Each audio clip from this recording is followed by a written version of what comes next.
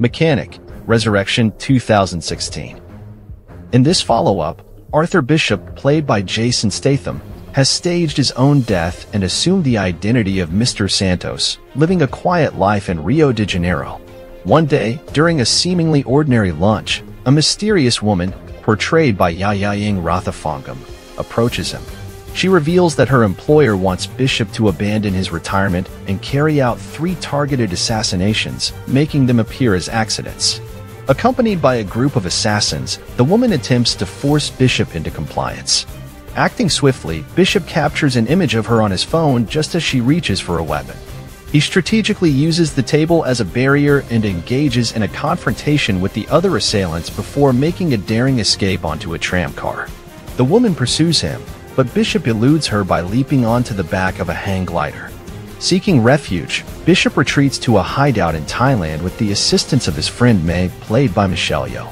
May delves into an investigation, discovering that the mysterious woman's employer is Riah Crane, portrayed by Sam Hazeldine, a childhood friend of Bishop.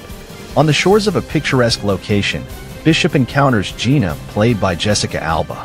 Later, in the evening on the waterfront, Bishop hears sounds of a struggle on a boat, rushes to intervene, and eliminates the assailant. Bringing Gina safely ashore, Bishop learns that she is being targeted by Crane due to her refusal to comply with his demands. As Bishop watches a video showcasing Gina's altruistic efforts teaching children in Cambodia, she discloses that Crane kidnapped a friend of hers, using the threat of harm to children as leverage. Bishop safeguards Gina, forging a connection as they frequent a bar where May works, unaware that Crane's operatives are monitoring their every move. Eventually, Crane's men corner Bishop and Gina on the beach. While Bishop fights the Himen, Gina is taken. Bishop is brought in to meet with Crane after a long absence. Crane has an axe to grind with Bishop after he felt that Bishop abandoned him when Crane needed him.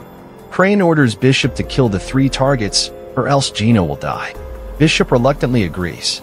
The first target is a warlord named Krill, Femi Elufowoju Jr., who is being kept locked up in a Malaysian prison. Bishop travels to Malaysia and gets himself arrested in order to get in the same building as Krill. While on the inside, Bishop stops a man who was already planning on killing Krill. Later, Bishop meets with Krill inside his little hut by the prison yard. As Krill discusses his plan to rule Africa once he gets out of prison, Bishop sneaks up on him and chokes him with a wooden rod by pressing it against a bar on the window. He sets up the accident by having Krill sit at his table to appear as though he was in the middle of a prayer. The guards are alerted to the incident and witness Bishop on the security cameras. Bishop creates a bomb that blows a hole through the prison walls. He walks through and jumps into the ocean to escape. Bishop is contacted by Crane through his tablet to speak with Gina. She tells him that he only has 36 hours to kill the next target or she will be eliminated. Crane tells Bishop that the next target is a man named Adrian Cook, Toby Eddington, who runs an underage trafficking ring. Bishop finds Cook's apartment and carefully sets up his trap. Cook goes for a swim in his glass pool outside his apartment while Bishop is hooked to a wire as he scales the building. He uses a device to break the glass in the pool, causing the water to spill out with Cook plummeting to his death. Once again, Bishop makes a clean getaway. Somehow, time has run out for Bishop, and he is forced to kill the last target immediately. The man is Max Adams, Tommy Lee Jones, a billionaire who owns a bunch of submarines. Adams finds Bishop waiting for him in his safe room, but instead of killing him, the two of them get along and decide to work together. Bishop has Adams fake his death by blowing up his equipment and telling Crane that the job is done. They arrange a meeting so Crane can give Gina back. However, Crane is planning to have Bishop killed. Bishop waits for Crane's men as they get off land and head to kill him. He shoots them all dead before heading toward Crane's boat. He shoots, stabs, and blows up more hitmen before getting to Crane. He finds Gina, and they discover that Crane has the boat rigged to explode. Bishop puts her in a chamber to let her escape while he finishes Crane. The two of them go head-to-head and fight as time is running out. Crane pulls Bishop down with the anchor chain, but Bishop manages to pull it off and tie Crane down with the chains. Bishop runs away moments before the boat explodes, killing Crane. Gina resurfaces in the chamber and sees the wrecked boat. She is rescued and treated by paramedics, and she learns there were no survivors. Gina returns to Cambodia to continue teaching. She writes a letter to May to let her know she is safe and doing what she loves. Gina is then surprised when Bishop shows up. They embrace. The last scene shows Adams reviewing security footage. He sees that Bishop found a chamber to sneak into before the boat exploded. He got out once that piece of the boat was recovered. Adams laughs and deletes the evidence. Since faking his own death, Arthur Bishop has been living quietly in Rio de Janeiro under the name Santos. He is approached by a courier, Renee Tran, who knows his true identity and explains that her employer wishes Bishop to kill three targets and stage their deaths as accidents. Bishop escapes, eluding her and her mercenaries and fleeing to Thailand. He takes shelter at the resort island beach house of his friend, May, and learns that Tran is working for Riah Crane. Sometime later, a bruised woman, Gina Thornton, approaches May for first aid before returning to a boat anchored nearby. May sees her being beaten by a man aboard the boat and alerts Bishop.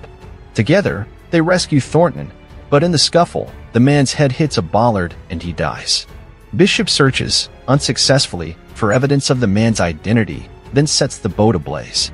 While May tends to Thornton's injuries, Bishop finds that Thornton is also connected to Crane and concludes that he anticipated Bishop would become romantically involved with her. He would then kidnap her to make Bishop take the assassination jobs. On being confronted with his theory, Thornton reveals that Crane had threatened the children's shelter in Cambodia that she runs unless she participated. Over the next few days, Bishop gets to know Thornton better and they fall in love. As expected, Crane's mercenaries arrive and abduct them. Crane keeps Thornton hostage to ensure Bishop completes the assassinations. The first target is a warlord named Krill, held in a Malaysian prison.